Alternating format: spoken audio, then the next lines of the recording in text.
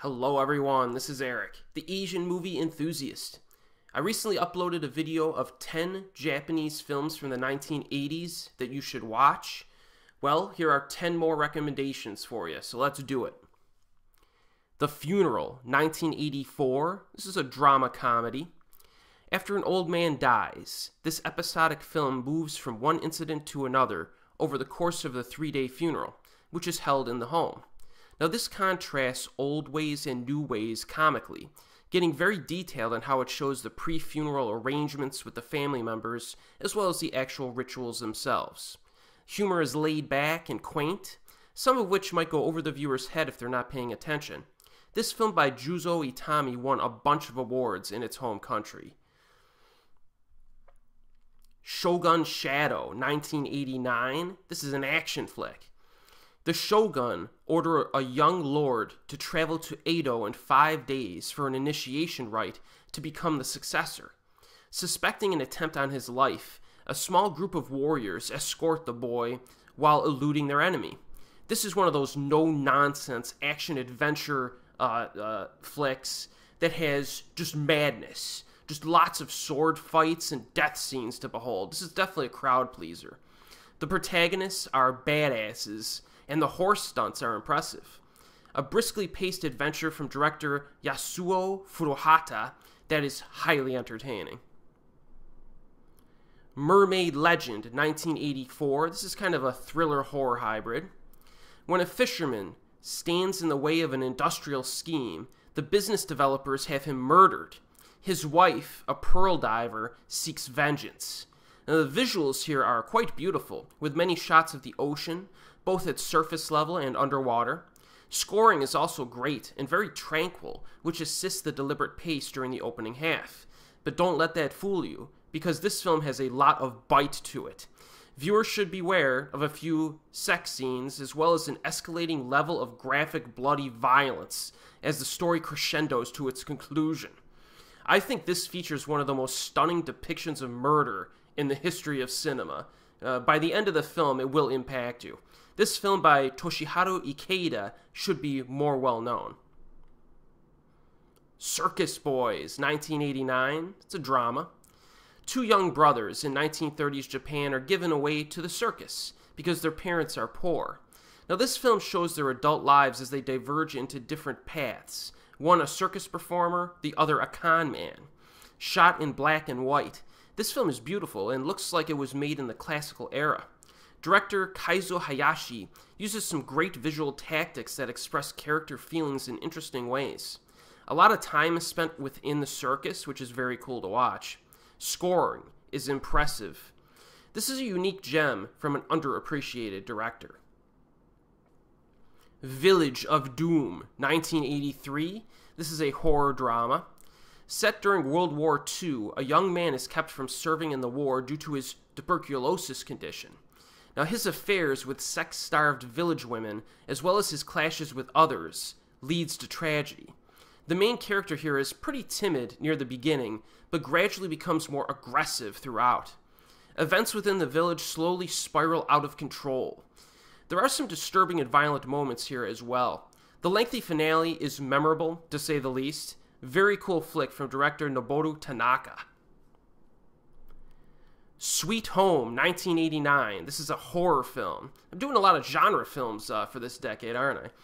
A news crew goes to an abandoned house to find and film a rare painting, but cross paths with a deadly apparition, in this film by Kiyoshi Kurosawa. The first impactful sequence occurs near the half hour mark, as the film contributes a truly incredible horror sequence with expert use of shadows and gore. The supernatural phenomena that are showcased afterward are pretty impressive and diverse, with both the practical and special effects uh, being quite neatly uh, combined. There's also an underlying theme of maternal love here. Now, this is not nearly as cerebral as Kiyoshi's later titles, but it's certainly entertaining.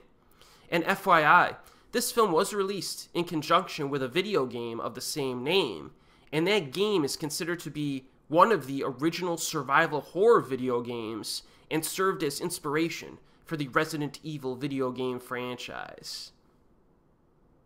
The Crazy Family, 1984. It's a comedy drama. The title is entirely accurate. Sogo Ishii directs this film about a family that moves into their suburban dream home, but subsequently become inflicted with a civilization sickness, so to speak, that basically just drives them all insane. This is basically a satire on the prototypical Japanese family, which exaggerates the flaws to absurd proportions. I especially enjoyed the son, who uses ridiculous lengths to study for his college entrance exams. This is quite loud and very nuts for a film, with characters who go completely off their rocker. Now, some scenes during the second half are outlandishly fun, but this is a really good flick and uh, definitely works, uh, worth seeking out. Tokyo, The Last Megalopolis, 1988. This is a horror drama and a fantasy hybrid, too, I would say. Now, this is set during the early 1900s. A demonic soldier plans to awaken the sleeping spirit of a warrior who was executed a thousand years ago.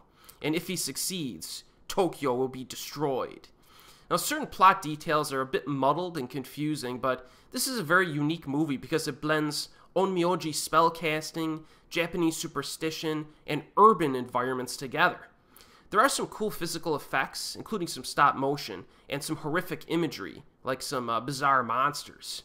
It is on the slower pace side, but when the weird stuff hits the fan, it's very entertaining. It especially holds true for the finale. This is the live action film from Akio Jissoji, not to be confused with the similarly titled anime, which is also worth watching. Virus, also known as Day of Resurrection, 1980. This is a drama horror flick. After a deadly biological weapon is mistakenly released, the world's population is systematically destroyed. This post apocalyptic film by Kinji Fukasaku is a solid example of how such films should be made, because it does have some balls to it and an overall bleak tone. You know, the opening half is pretty finely crafted in terms of the spread of the disease, while the second half focuses on the isolated group of survivors.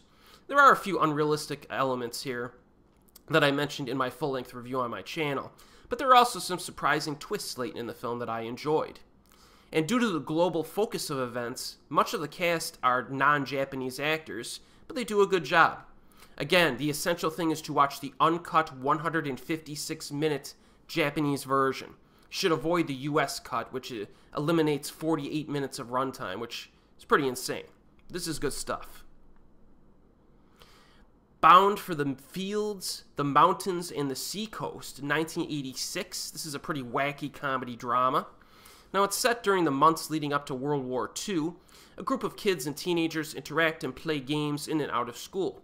It's another oddball film by Nobuhiko Obayashi, that showcases a number of bizarre moments. Anybody who's familiar with this guy will not be surprised.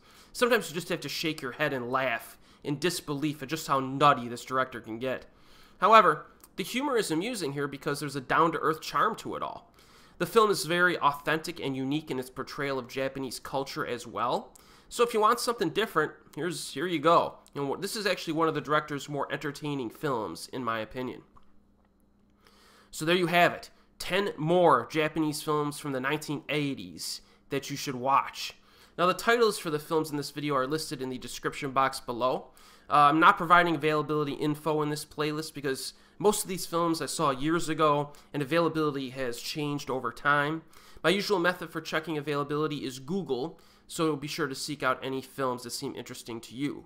Now, the availability of some of these titles from the 80s, including the ones from part 1 of this 80s video, is kind of rough nowadays, but you know, that's why I like doing this playlist. It gives me the opportunity to just cut loose, recommend stuff that I've seen before without having to worry about a, a current availability. So, uh, if you could find any of the films that I'm recommending, though, they're definitely worth checking out. And hopefully, some of these will get some better availability over time.